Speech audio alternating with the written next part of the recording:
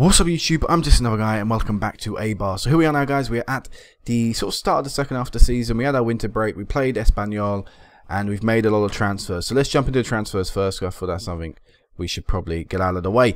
Um, so I've spent a lot of money in January in terms of wage budget. Currently we're about £20,000 over our wage budget, I think just under £20,000 actually.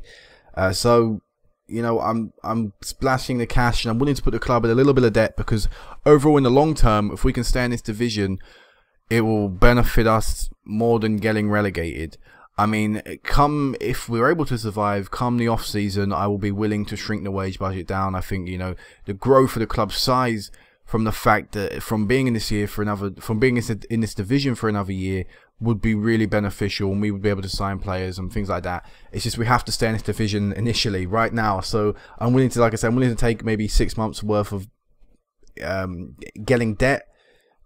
And hopefully the club are willing to do that as well for us to survive in this division. So the people to leave currently, we released our goalkeeper, Irizat Irisista, he was our backup keeper, uh, never played for us, and overall I just didn't feel we need him at the side. And we also loaned out two people, only spending the clubs we've loaned them to are only picking, are only spending, sorry, um, 10% of the wages. So I mean, they're only paying for 10% of the wages. Um, so it's not great, but it's better than nothing in my opinion. And these are just people. I'd rather know, get like I get them off the wage bill. They don't want to be here, so let's get them away from us. You know, out of out of sight, out of mind. The three people he's brought in, though, I think are three great signings. Uh, you already know about one of them, kinda, already spoken about him previously, Obina, but we'll go through them now. So the first guy we officially brought in, because Obina was actually agreed originally, way before anyone else, but he couldn't officially sign until the second, until the start of the transfer window in Spain. Uh, but Miroslav Stefanik uh, came in 24 years of age from Bosnia and Herzegovina, and um, I think this guy looks great. He's going to be playing right midfield for us, and he's played one game so far and put in a decent performance. He's got experience in this level before, um, with Sevilla a little bit, LT uh, in the second division as well, but was at our club for six months and decided to pick him up. According to reports, he is a decent player for this level. Um, you know, not not great, but we definitely need a player a player on that side. He can play left or right attack, right midfield as well, which is great, or attacking mids. But for us right now, he's gonna be playing midfield. And overall, I think this is a decent signing for the side and something we really needed. We did, of course, release a few players who were originally here on loan, which I'll go through when we look at the squad and I try and remember them. but yeah, we did, we we had a little bit to play with, so we brought him in.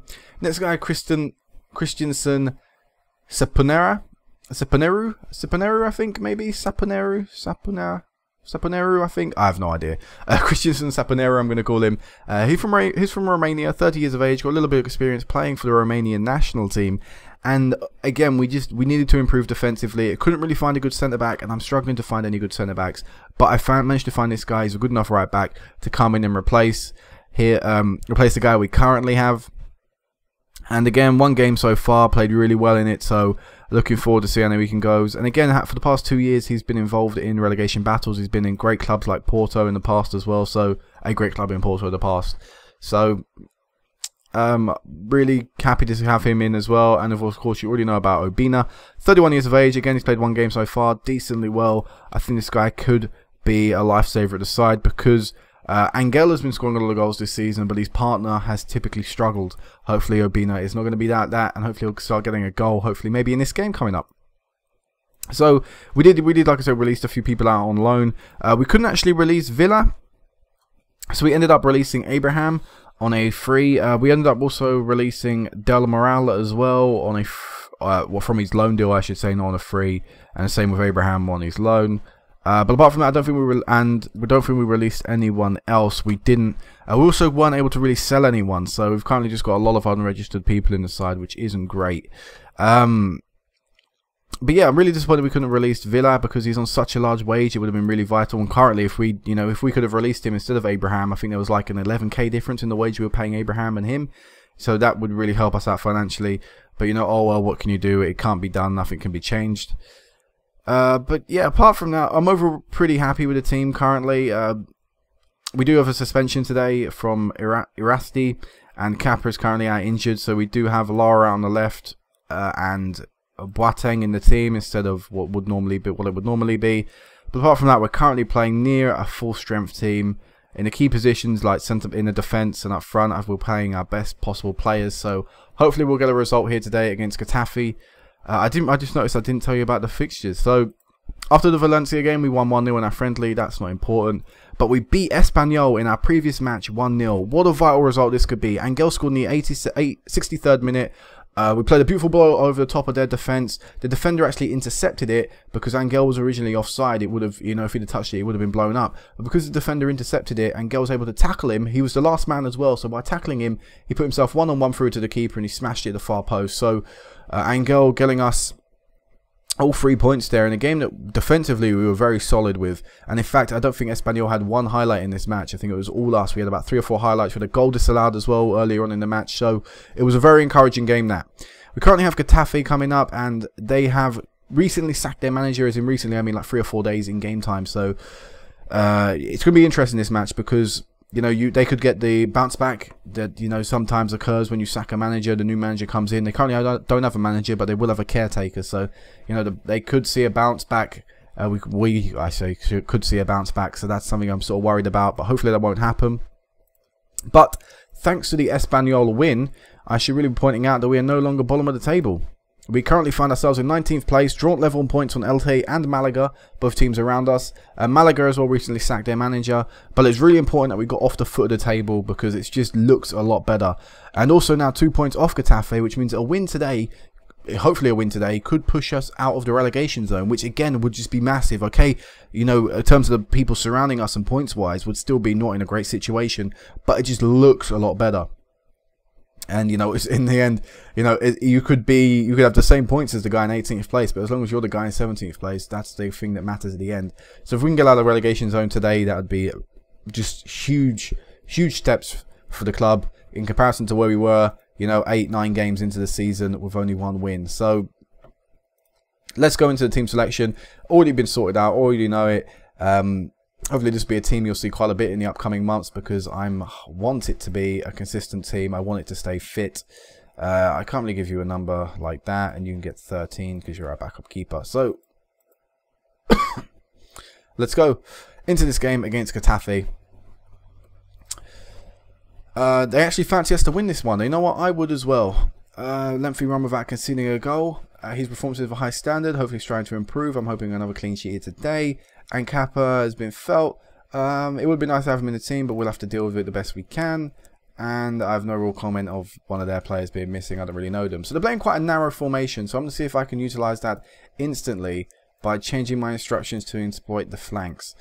Um, so yeah, let's go out. Let's go out there like that.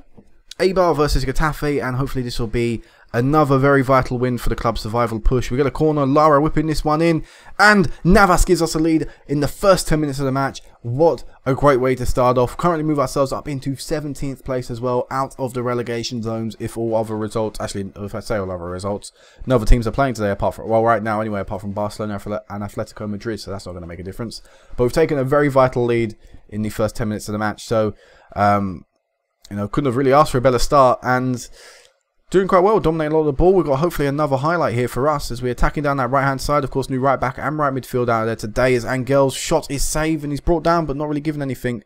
But yeah, we've got new right back, new right midfielder today being fielded and as was the same in the last match is, well, I'm I'm surprised I went offside. Uh, so, you know, I think we're doing quite well down that right-hand side. We've got two players who I think are up to the standard of the league which is a contrast to the you know to the start of the season where really we were quite weak on the wings I'm confident enough now on both sides really as well. On the left side, I'm pretty confident we've got players who can play there to a good enough standard. Uh, so Boateng playing the ball around nicely. Angel playing it through to D Danny Garcia, and wow, he smashed that one over. Danny Garcia was probably our star, one of our star players in the last match. Apart from Angel, he probably was, was the second best player in our team in terms of ratings. So hopefully another good game from him would be great. Uh, Stanovic whipping it in, almost scoring from the cross, but really. It's not a great cross if it's hitting the side netting, is it? Oh, another injury. We don't need that. Danny Garcia. Wow, what a deep ball in. And Angel almost managing to header that in. Unmarked, unchallenged at the far post. What a great ball in from Danny Garcia. We still potentially could get a highlight here, but looks of it. Another chance is Boateng with Danny Garcia. Oh, he's been intercepted and blocked. Hopefully they won't get that counter attack. Stop it. Great challenge. But actually, it's looking dangerous for us. Angel, ah, oh, just the pass as Danny Garcia actually hits the bar, but poor pass for Angel there. I think it was Danny Garcia originally with that pass as well to Angel. But it's been a very promising half. Hopefully we can go in, still 1-0 up. Clearing it off the line pretty much there. Wow, and we do go in 1-0 with a 1-0 lead. So that is great. Happy with the performance so far. Keep it up. You know, don't let yourself drip. Don't let yourself drop. We've been in control of this match for a surprise. Probably one of the first games all season long, apart from the Deportivo game right at the start of the season, that we've actually been in control. So that is a nice change for us, really. I go to say, hopefully that doesn't it doesn't curse the commentator. doesn't affect me right there. I would have hated it if Getafe would have scored. Uh, Angel not having a great match. I'm thinking maybe we're going to have to take him off. Uh, Lara's looking not too confident either. So we're going to take Angel off. And I think we're going to take Lara off as well. We'll bring on Bergeron. Even though I didn't really want Bergeron in the team. And I'm going to tell him pressure is off. And I'm also going to tell Bergeron that pressure is off. Hopefully they'll both go out there nice and relaxed, calm, you know, and able to play out the rest of the game. With the confidence that the rest of the team has been playing with all night, really. Uh, it's good. We've not actually had a lot of the ball in the second half, and that's quite worrying. I feel like Getafe are going to score soon. Maybe even from this highlight. Ah, for fuck's sake. Navas, who scored down one end, has then scored at the exact same end in the second half for the wrong team. Great. Despite our dominance, despite our better first half performance, we're not playing well in this half, and that's going to potentially throw away the game. Is Bergeron now just come on, whipping it in, getting a goal. The subs linking up perfectly there. Federico, Piovaccari. What a great goal. Brilliant, brilliant ball to Bergeron. Bergeron, tons of space, couldn't really get it wrong. Good cross in, maybe offside, maybe there was an argument. I wasn't really paying attention there. Uh, but either way, great link up from the substitutes and giving us the lead straight away. Instant reply. We're going to take you off, bring Danny Dizu on. Demi Dizu on and hope that the fresh legs in the centre of the pitch help us maybe even cement our league here as we lead here as we go out yet again looking for another goal. Obina, play it out wide. Play it out wide. There you go. Found the player. Stefanik. Oh, oh, oh yes, managed to get it in in the end. Berger with a goal. And that should hopefully be the game. That should be the game. Two wins in a row. Jesus Christ. Is this the same Eibar we started the season with? I'm, I'm feeling, I'm feeling it this, I'm feeling it this season. I think a survival is on the cards. We probably we have a lot more tough we have a lot of tough games coming up. That is true, but hopefully if we can continue this current run we're on, carrying on from the Valencia match into the past two games, two wins on the bounce as well. Hopefully we can continue this on for a few games more before the inevitable loss will come. You know we will lose to one team you know, I don't. Team, our team isn't nowhere near good enough to go for the rest of the season undefeated. But you know, hopefully we can continue this run for a few games more, a few more victories, and then you know we'll just have that bounce back ready after we've lost that game. But three-one victory. What a fantastic match to Livecom. Our first real comfortable and confident victory on a Livecom. And as you can see, pushing us up into 17th place, drawn with Almeria in 16th place and only two points off the likes of Villarreal, Real Sociedad and Granada. So things are looking up. We currently have as well in an upcoming game. I don't really know actually, is it a good thing? Wow, 20 games into life and are not happy with their current manager, with Eibar having lost majority of their games under Guy's management, currently spending 22k on players who's already media that he will not last much longer. Am I really in, in trouble? I didn't... I didn't think I was in trouble.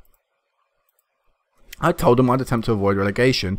I've just got out the relegation zone and apparently I'm in trouble. I'm secure. What are they on about? I mean, I can understand they're not happy with the wages, but the squad harmonies I we're currently doing what we need to be doing in the Liga BBVA right now. what an absolute rubbish press conference thing to come out with just after we've got out of the relegation zone. Uh, how long are you out for? Iki's, Ikiza, three to four weeks. Ah, Jesus, that's a long long injury. Currently, we have not really got the squad depth either due to the fact that a lot of my people are unregistered and actually our other backup player is out injured, so it is not encouraging signs. Um, but the next time I meet you back, let's let's sort that out. Um, I don't know. Deportivo is looking interesting. I would like to do Atletico. Uh, I'd like to do Elche or Elche, Elche again, maybe. Villarreal is an interesting match. Uh, not many games really left in the season. So what I'm thinking is, let me go onto the league table again. Uh, we click there. Um, I'm not. I'm not really feeling the Atletico Madrid match. I'm not really feeling it. So, what I may do is I'll meet you back in maybe two games times for the Real Sociedad game, then also meet you back for the Villarreal game, and then meet you back for the Barcelona game. Have our next three live comps sorted out. So I'll meet you back in two games time. Hopefully we'll continue this run in the next match, and then when I'll meet you back for the Real Sociedad game, we can continue our run yet again. I do think we're going to lose for Atletico Madrid, which is why I'm sort of not really interested in live coming them. Um, and then I'll meet you back for the Villarreal game. I was thinking maybe Deportivo La Coruña, uh, but I don't think we're going to be able to repeat our 5-1 victory uh, as we got earlier on in the season. But great way to end the episode off. I think it's just looking at that league table and admiring the fact we are no longer bottom of the table one, and also out of the relegation zone too. So the survival is on. Until next time, guys. Peace out.